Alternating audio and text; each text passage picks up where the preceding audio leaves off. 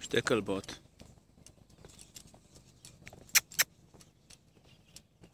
פשוט הופיעו להן כאן, בשדה הזה, לא רחוק מגניה.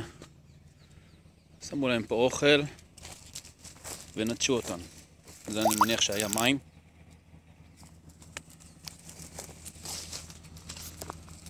טוב, אני ממהר, אני לא יודע מה לעשות.